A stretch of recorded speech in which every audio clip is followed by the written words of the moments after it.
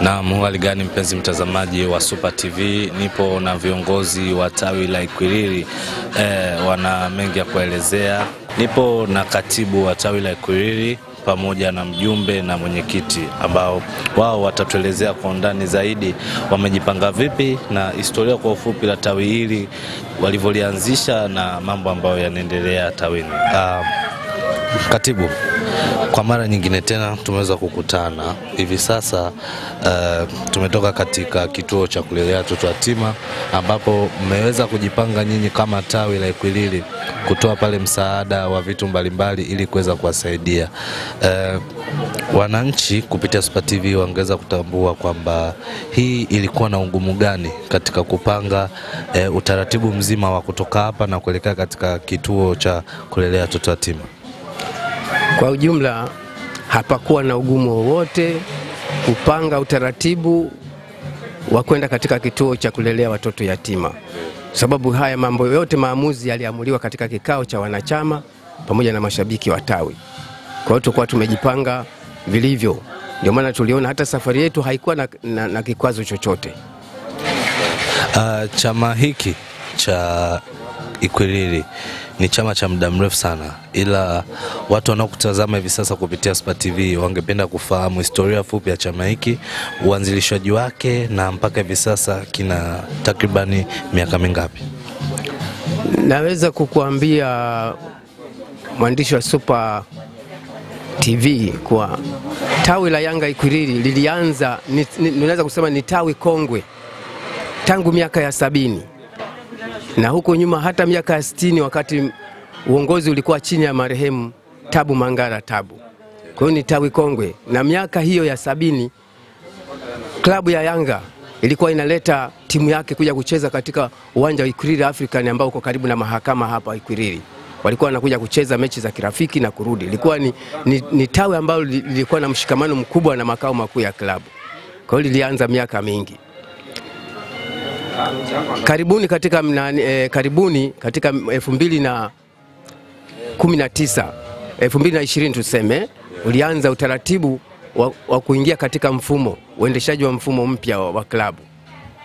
Kwa hiyo kila hatua iliyokuwa inafanyika kule makao makuu tuliitwa viongozi wa matawi, tukaenda pale tukaelimishwa, na sisi tukaagizwa kurudi katika wanachama, wana, matawi yetu. Tunaitisha mikutano tunaeleza yale yaliyokuwa na tuliokuwa tumeelezwa, na wanachama walikuwa wanatoa maoni yao. Wakitoa maoni yao, tunarudisha feedback kule makao makuu. Kwa hiyo tunaweza kusema mfumo huu ulikuwa ni shirikishi, haukuwa ni, ni, ni wa kidikteta.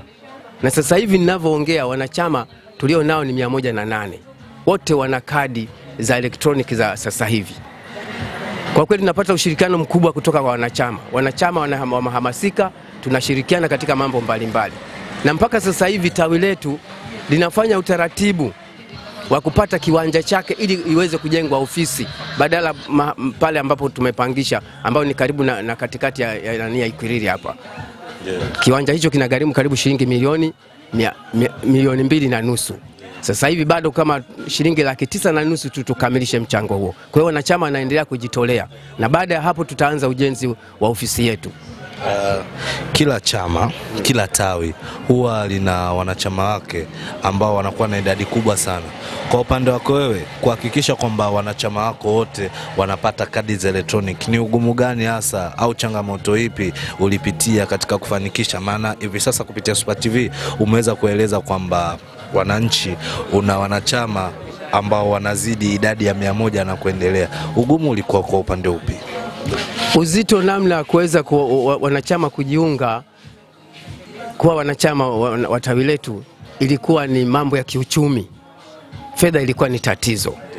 Halafu pili, kulikuwa uelewa mdogo.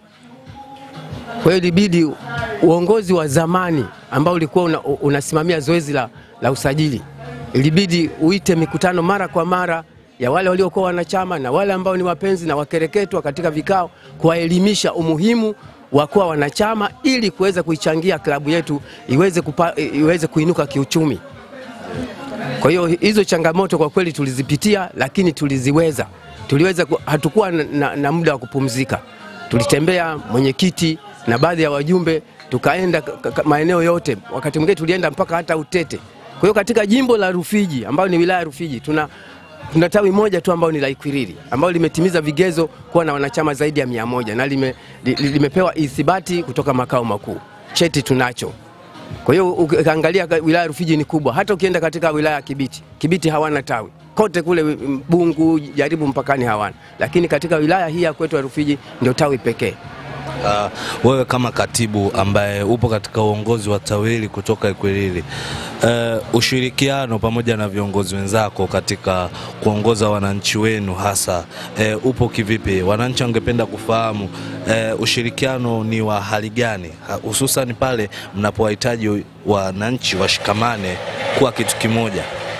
Kwa kweli ushirikiano naweza kusema ni mzuri kati ya viongozi na wananchi. Tunapowaita katika vikao, wanaitika, tunakuja pale, tunazungumza yale ambayo tunayakusudia, tunapanga pamoja na tunatekeleza. Ikitokea tu kwamba jambo halijatekelezwa, basi huenda huwa tunarudia rudia, tunaendelea kuwapa elimu ili wa, tuweze kutekeleza yale ambayo tumekusudia sisi wenyewe. Kwa hiyo ushirikiano ni mzuri kati ya wananchi na viongozi. Ah, nikushukuru sana. Asante sana. Mpenzi um, mtazamaji wa Super TV, huyo alikuwa ni katibu wa tawi la Ikwiriri ambaye ameweza kuongea kwa undani zaidi kuhusiana na tawi lake. Ameweza kutupa historia fupi pamoja na matukio mbalimbali yanayoendelea katika tawi hili la Ikwiriri.